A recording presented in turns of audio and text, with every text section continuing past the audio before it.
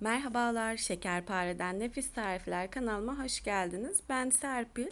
Bugün sizlere yumuşacık kekiyle ve pişmeyen kremasıyla nefis bir tart kek tarifi vermek istiyorum. Dilerseniz hemen yapımına geçelim.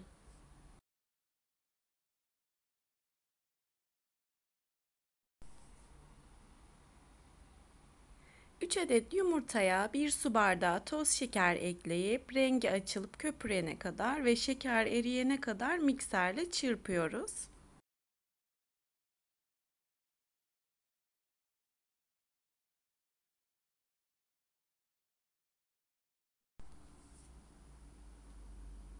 Yumurtanın rengi çok güzel bir şekilde açıldı, bayağı da köpürdü. Şimdi yarım su bardağı sıvı yağ ve bir su bardağı süt ekleyip çok kısa bir süre daha çırpıyoruz.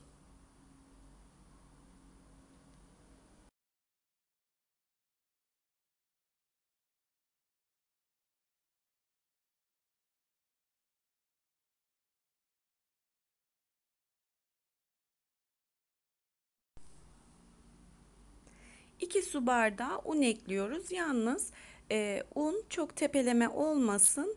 E, çünkü biraz akışkan kıvamda bir e, kek hamuru elde edeceğiz. Eğer e, koyu kıvamda olursa kekimiz de sert olur.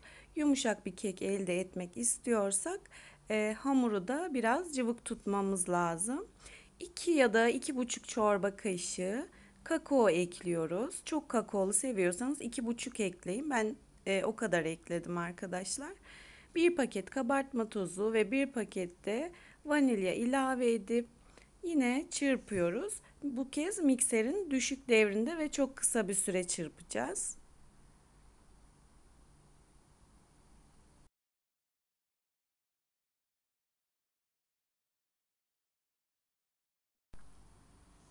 Mikserle çırparken tabağın kenarlarına e, un yapışıyor arkadaşlar. Bunu da e, bir spatula yardımıyla içine aktarıp tekrar çırpıyoruz.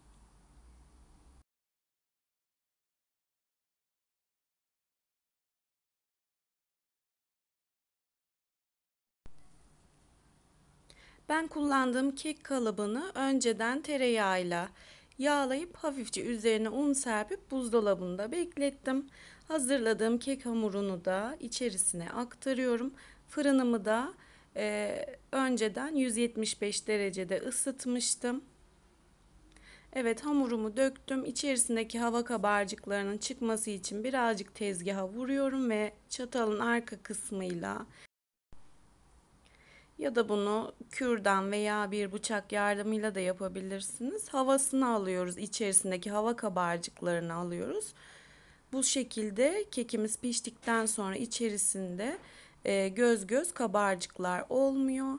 Kekimizi önceden ısıttığımız 175 derece fırında 35-40 dakika arası pişiriyoruz. Bu fırının özelliğine göre değişebilir. Kek pişerken e, ortası biraz bombeleşiyor. Ters çevirdiğimizde daha düzgün durması için o bombeli kısmı kesiyoruz. Daha sonra bunu kremasında kullanacağız.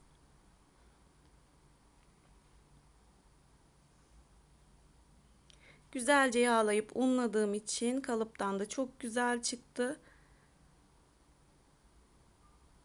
Bir su bardağına yakın sütle kaşıkla her yerine gelecek şekilde kekimizi ıslatıyoruz.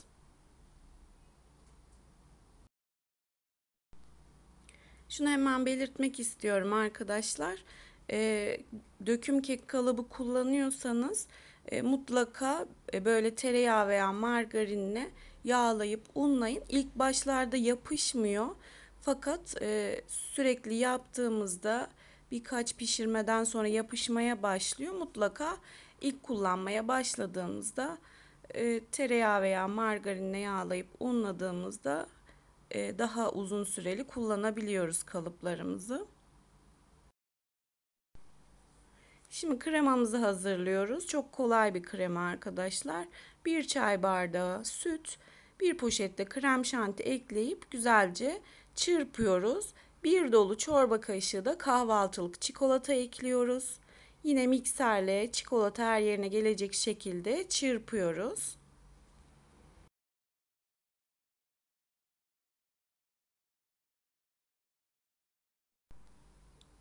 Güzelce çırptıktan sonra kekimizden kalan e, parçaları da ben elimle ufaladım ve içerisine aktarıyorum hepsini. Bu şekilde e, görüntüsü de çok güzel oluyor. Hem de kekimiz israf olmamış oluyor. Kremamızı hazırladıktan sonra buzdolabında güzelce soğutuyoruz. Kekimizin de tamamen soğuk olması lazım kremamızı koymadan önce. E, krem şanti kullandığımız için sıcak olursa krem şanti eriyebilir. Ben böyle bir sıkma torbasına koydum ama dilerseniz e, bir spatula yardımıyla ortasına sürebilirsiniz.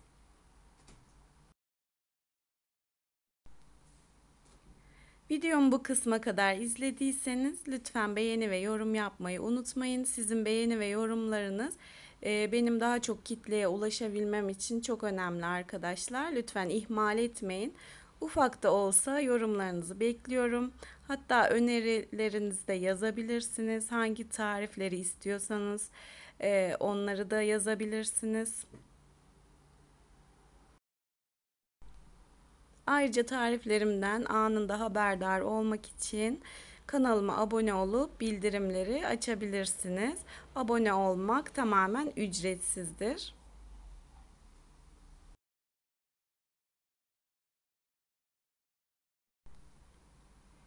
Kremasını sıktıktan sonra mutlaka bir 3 saat kadar buzdolabında soğutuyoruz.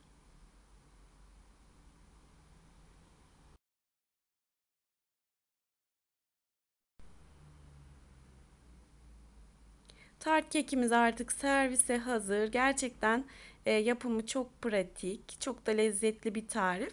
Mutlaka denemenizi tavsiye ediyorum. Bugünkü tarifimin de sonuna geldik. İnşallah başka tariflerde görüşmek üzere. Allah'a emanet olun.